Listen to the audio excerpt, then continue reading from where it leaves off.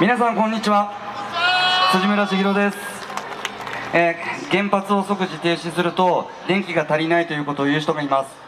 大丈夫です。地産地消型の小さなグリッドに電気を変えて再生可能エネルギー100%これは実現できる。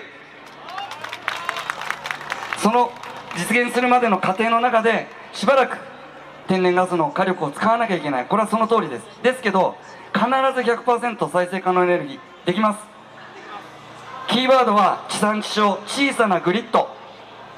農業もそうです。林業もそうです。漁業もそうです。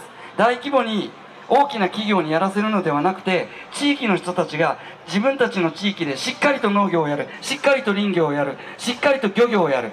これが日本1個分の暮らし。これはエネルギーも一緒です。小さなグリッドにしていくことで全て地産地消にできる。断言します。ですので日本1個分の暮らしを目指しましょう。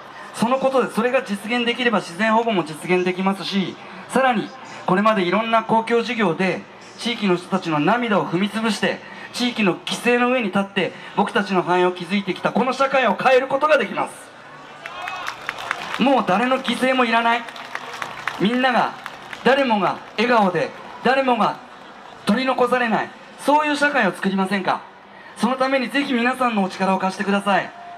ぜひお力を貸してください。日本1個分の暮らし。そうすれば世界中の収奪もなくなります。世界の貧困の国の子供たちの児童労働の問題。僕たち目を背けてませんか？地球温暖化よりもその方が大事です。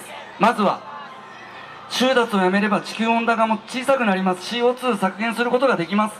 だからみんなで地球に優しくというのだったら日本1個分の暮らしをしませんか？ぜひ皆さん協力してください。えー持ち時間2分なので一生懸命喋ってしまいました。辻村千尋ツイッターでいろんなことをつぶやいてますのでぜひそっちもチェックしてください、えーどうもありがとうございました。よろしくお願いします。ありがとうございます。駆け足ですけれども、えー、辻村千尋さんでした。